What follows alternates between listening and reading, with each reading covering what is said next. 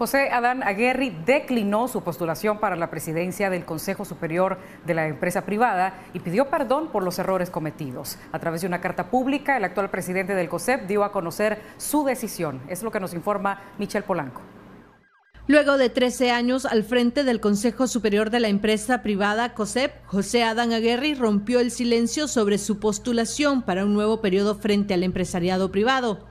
A través de una carta en la que describe su trayectoria, dejó claro que declina a su derecho de postularse nuevamente.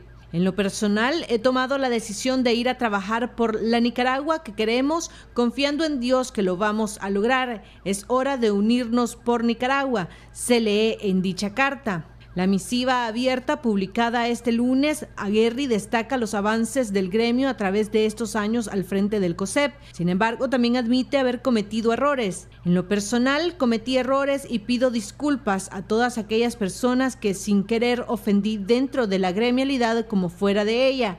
También como institución cometimos errores a los cuales ya me he referido públicamente y sobre los que como organización continuamos comprometidos en ser mejores día a día.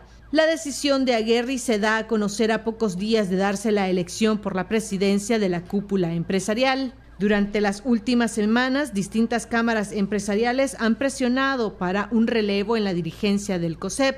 Aguerri en su misiva también dijo haber sido víctima de ataques. En los años que he participado en la gremialidad a nivel nacional y regional, nunca había visto una campaña tan sucia cuyos ejes han sido la descalificación y la manipulación, expresó.